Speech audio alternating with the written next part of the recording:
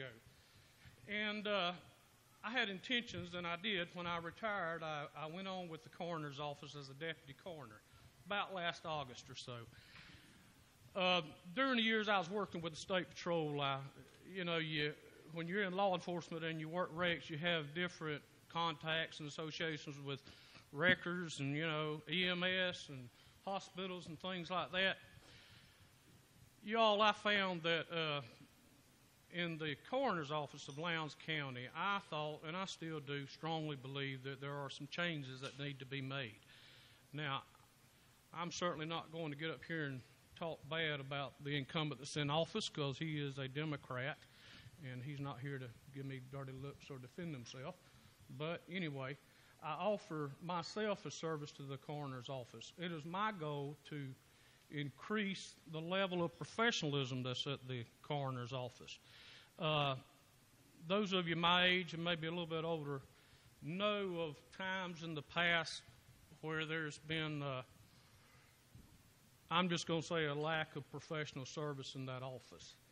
And uh, coming from the State Patrol, I have a firm belief that when you are a employee, whether you're an employee or elected official for the citizens, that it is your duty. You should not be in that position unless you are willing to provide the utmost and professional service and help our citizens. The coroner's office is not something that you really can get people excited about running for coroner, I've found so far. I've never run for public office. I'm not in the funeral business or anything like that. But I'm here tonight, and I'm glad to be here talk to y'all and meet you. And I would be glad to speak with anyone after the meeting or whatever. If they have any other questions, would like to know anything else about me, I'd be glad to tell them. And uh, I would ask that you would consider me as a candidate and that you would support me and uh, of course, like everyone else running for office, I can always use contributions. But mainly, I, I'm not doing this for money. I'm doing it to increase the level of service for the Lowndes County Coroner's Office. Thank you all.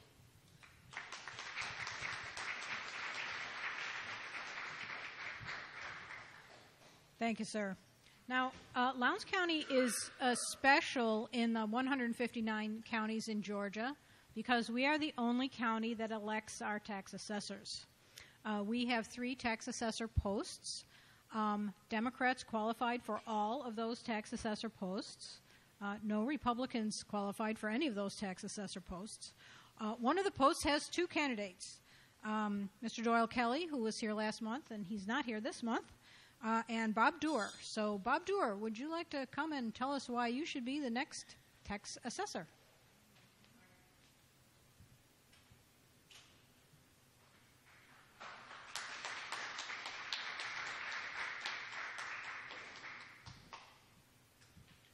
Bob Doerr. I'm a lifetime resident of Lowndes County. Um, I came here to meet you, ask you for your help and your vote, and to tell you a little bit about myself.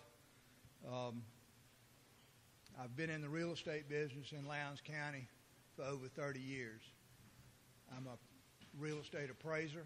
I'm qualified by the state of Georgia to, to appraise any type property uh, from, a, from your residence to the motels and the shopping centers, uh, industrial buildings. Um, I've qualified to do all of those with the state um, as a state certified general real property appraiser. Um, I have served uh, previously as a, on the planning commission for five years. I was chairman of the planning commission the last year I served. Uh, and I have also served on the board, Lowndes County Board of Tax Equalization, which is the appeal board if you don't like your assessment and you don't get anywhere with the tax assessors, you can follow it up and go on to the Board of Equalization. And I served for a little while on that, and I had to take some education with the state for a week at Lowndes County's expense. Um, and I can use that again um, that is, a, and that, the Board of Equalization is a grand jury appointment. Um,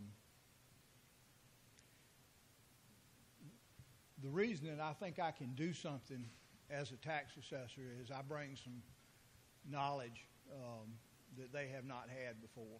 Um, as has already been said, all of the counties in the state have professional property appraisers that are appointed, and they have some qualifications in most cases. They've been to school and they've gotten some education. That's not the case here. We're elected. Um, and the level of, it, of education is not here. Um, over the last 30 years, I don't know how many times we have had to be revalued, but several times the state will come in and they will tell us that our tax ratios are out of kilter with what they should be. And what happens then is the tax assessors have to hire outside people to come in. And in some cases, we've spent more than a million dollars to get outside people to tell us what our tax values are. We shouldn't be having to do that. We should be keeping up with it on a day to day basis.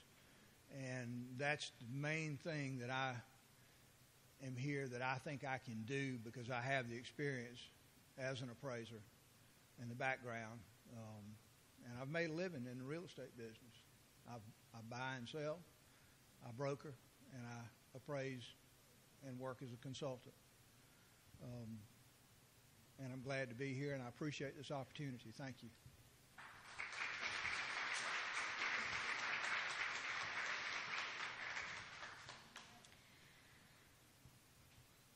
We have uh, new county commission districts um, that we'll elect people to this time. We have County Commission District 4 and County Commission District 5. I'm sad to say that we did not qualify any Democrat to run in County Commission District 5, which means we'll get a Republican. However, we did qualify two in District 4. So we will hear first from Alan Lane. Mr. Lane.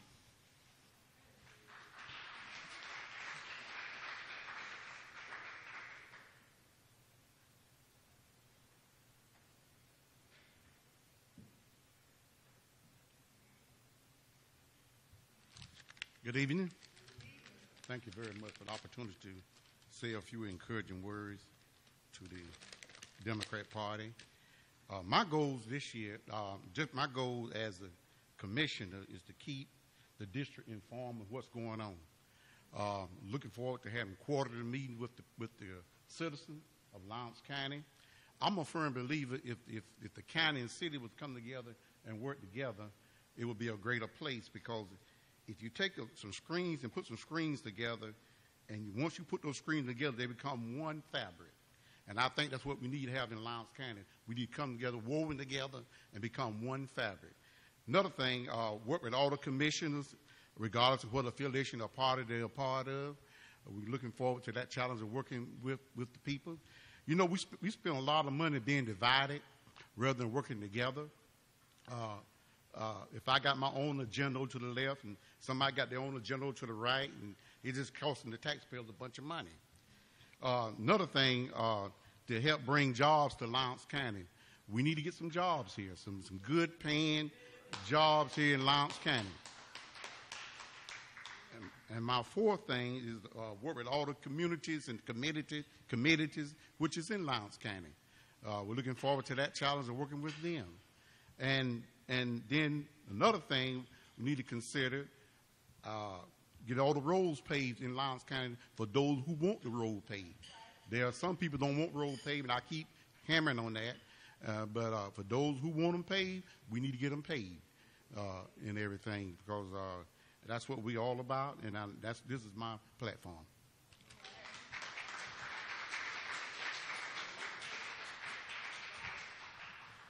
Thank you, sir and our other candidate, DeMarcus Marshall.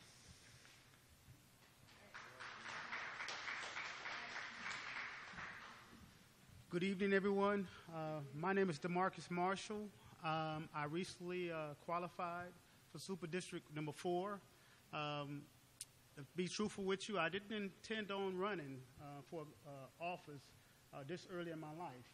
However, uh, after reading a newspaper article uh, by a gentleman that I sat next to at a Democratic social um, that put some things in the paper that were contradictory to what he had, what he had said sitting beside me.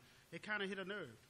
and it made me think to myself, what kind of integrity, what type of honor is amongst us now as Democrats? Where do we go at this point as Democrats?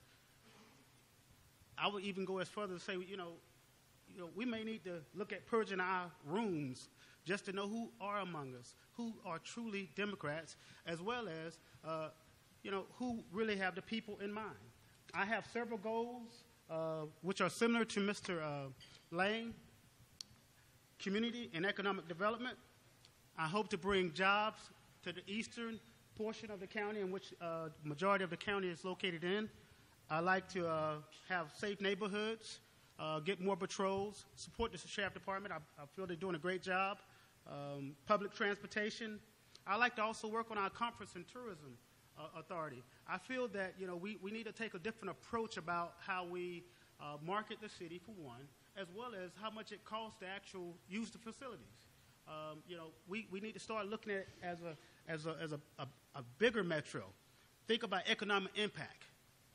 Say if you get 10,000 people from a, one particular organization to come here, and they stay for a week, you know, that, that economic impact can be well up to five, ten million dollars. But we worried about getting $10,000 in one day. You know, we, we got to start looking at the bigger picture of things. The other thing I promise is fiscal responsibility uh, with the taxpayer dollars. I honestly feel that uh, you know we have to prioritize our projects. If we don't have the money to do them, you know, we might need to hold off. You know, we might need to rethink what is important and what isn't important. But at the same time, do not come and say that we're going to cut back jobs, public sector jobs, and hey, you, you're talking about building something that is not going to be anything effective for the community for the kids, and for the elderly. The other thing is, I believe that everyone has a voice in the district. I feel that you know, transparency is very much needed. I hope to address all citizens' concerns as well through mail or calling to find out what they, what they think about an issue prior to voting on it, not after. I think it's very important that the citizens be actively involved in the political process. Lastly, I hope to work with local leaders to develop a county citywide development plan. This includes revisiting our service delivery strategy that we currently have in place. I believe the city and the county, we can, we can work together actually. I hope to bridge that gap that exists, that animosity and that gridlock, so we won't be fighting about pennies, spending thousands and millions of dollars to go to court with something that we can sit down to at the table with ourselves at some point in time, we're going to have to leave politics at the door. We're going to have to come in and sit down. Maybe, maybe we don't need to, uh, you know, bring the lawyers in. Maybe just have some food. Maybe have some sodas or drinks and talk about something real. Why? Because the funds come from the same source, which is the taxpayer. So, you know, instead of having two separate goals, the city got a goal, the county got a goal, we can sit down and move forward together because it's the same money. That's why I sit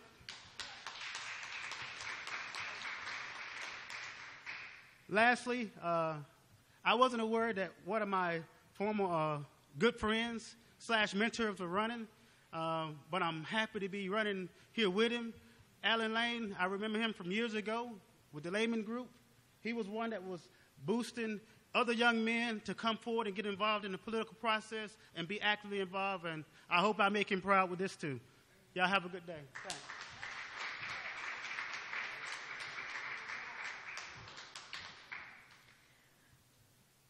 Joyce Evans has joined us. Joyce Evans currently serves on the County Commission representing District 1. She is running again for District 1. She is running unopposed.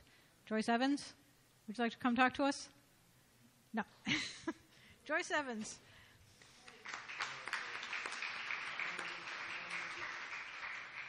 Okay, and this is somewhat awkward for me, but I, I am Gretchen Quarterman. I am the chairman of the Lowndes County Democratic Party, and it is my goal to become the chairman of the Lowndes County Commission. I am running for County Commission chairman.